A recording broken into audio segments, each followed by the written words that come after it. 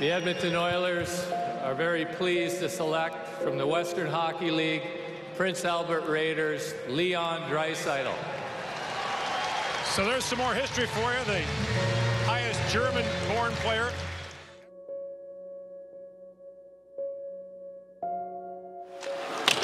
That second attempt wide of the mark. And this one is over. Officially. Even though it was over a long time ago. Chicago comes into Edmonton and spanks the Oilers.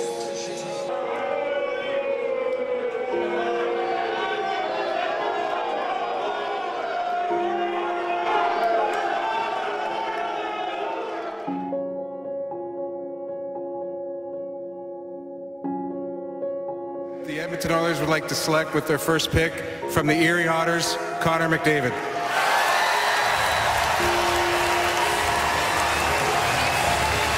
And he's stepping into a situation that's a lot better than what Taylor Hall stepped into.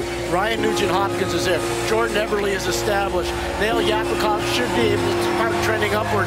So the biggest thing is he doesn't have to do all the heavy lifting right away, Craig. No, he doesn't. And, you know, even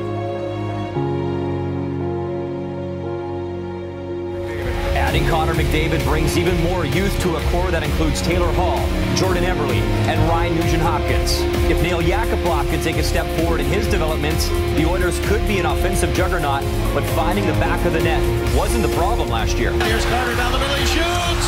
Score! Jeff Carter makes it 8 to 1.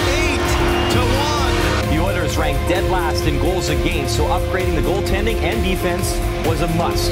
Chiarelli was busy at the draft, swinging deals to get Griffin Reinhart and Eric Gryba to bolster the blue line.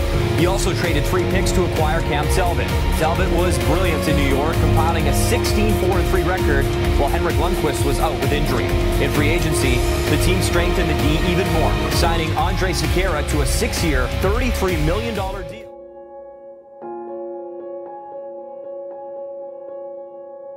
deal. action in the NHL. Nail Yakupov, just four years after his draft of first overall. You wonder, was there any other way to go about this experience? No, and uh, you know Peter Chiarelli needed a year to figure out that he couldn't do anything with Yakupov. He probably should have tried to do the trade near the end of the regular season last year or at the draft. It just wouldn't work out. Now, the key thing was try to get something for him that would help the future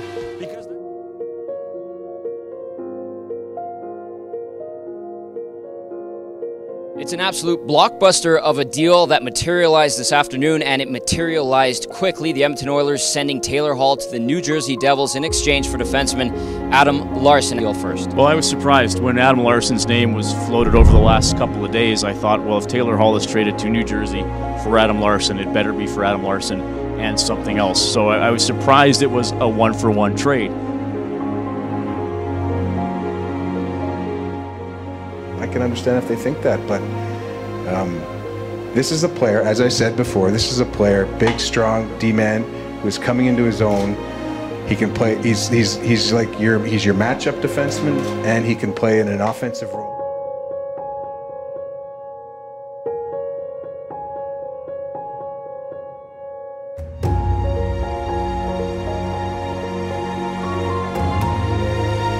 Seven years, $42 million from Milan Lucic. And when asked why he wanted to sign with Edmonton, his main reason 97 right there. He wants to play with Connor McDavid. He can now have some serious protection out there in a guy like Milan Lucic.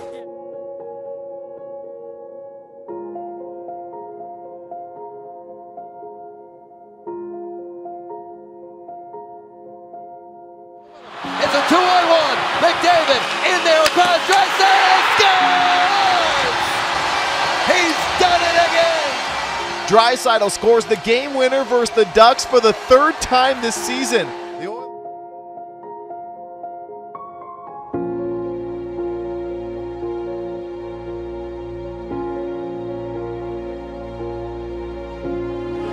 Silfverberg.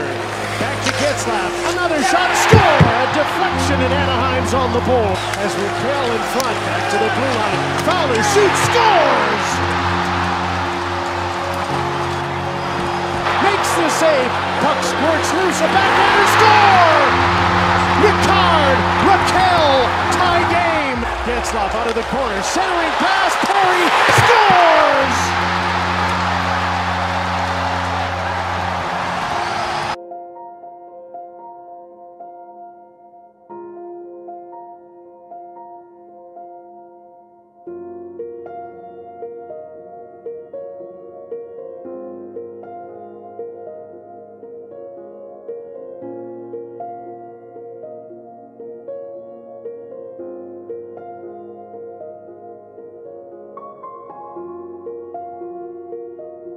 Eberle could have a new destination, and uh, the Edmonton Oilers officially announcing uh, Ryan Strome to the Oilers in exchange for Jordan Eberle. So the one for one deal. Doug?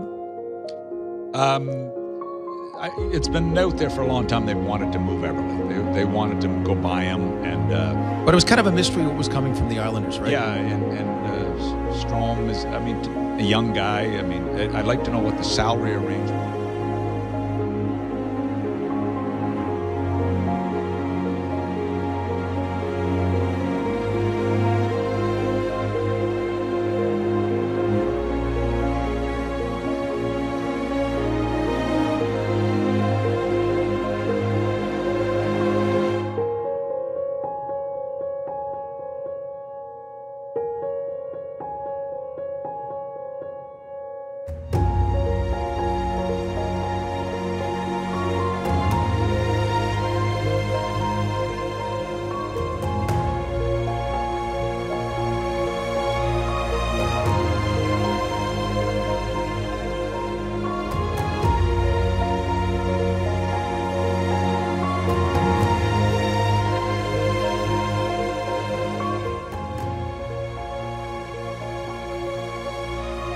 Made it official today. Dave Tippett has been tapped as their new head coach. I think there's going to be a fun ride. If I'm a fan out there thinking I'm going to step away, you might be disappointed. There's lots of upside in this team.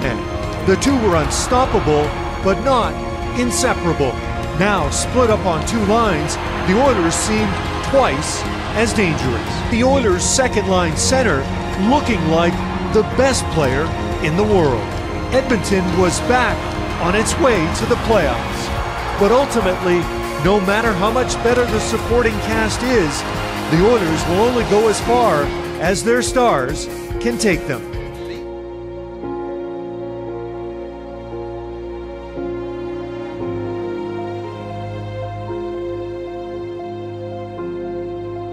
McDavid on this near side walks in, scores!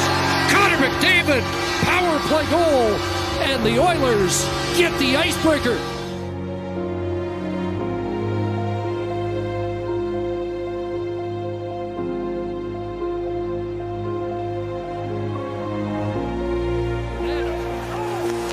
Won't get many better chance. Scores! Big play! Played there by Klefbom. He was dumped to loose in front. Scores! Jonathan Toews. They have to deal with no fans. In front, Kubalik to Toews, and it's 4-1. Soleil stop for Crawford in front. Scores! They've got it that time.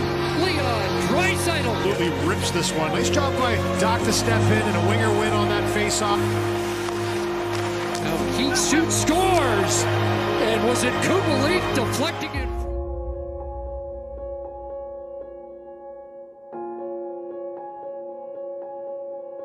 Play by Athanasiou. Bear trying to tie up Jonathan Toews. Centers, scores! Kubalik! With eight and a half minutes gone in the third. Chicago back in front.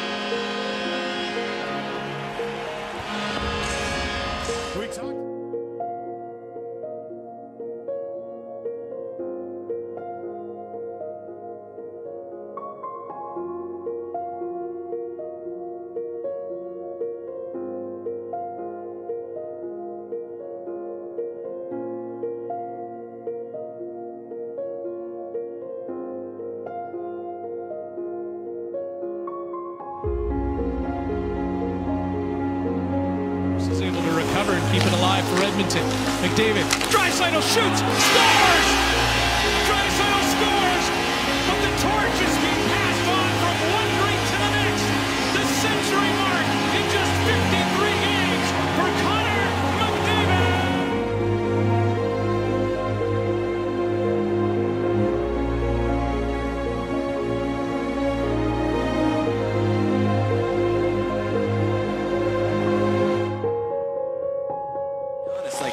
To hold McDavid and company off the score sheet the way they have done tonight has been remarkable.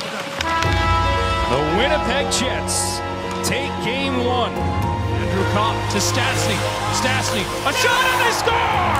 Paul Stastny! And the Winnipeg Jets take a commanding two to nothing series lead.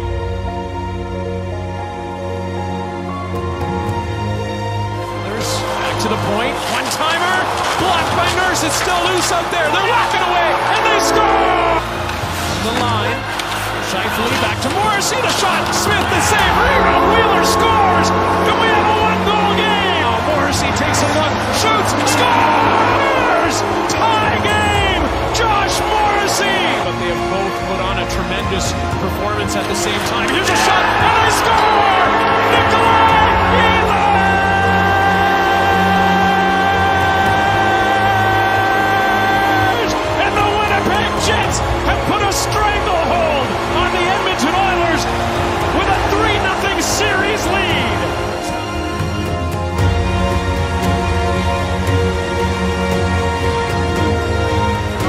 puck or uh, Nugent Hopkins, but you can see he's talking to Glen Gulutzan, one of the assistant coaches.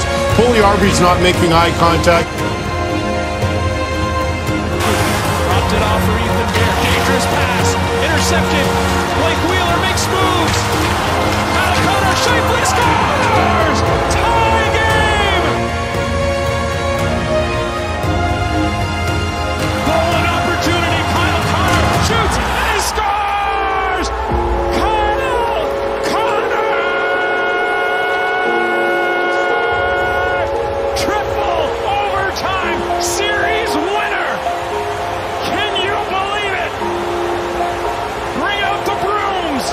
Jets have swept the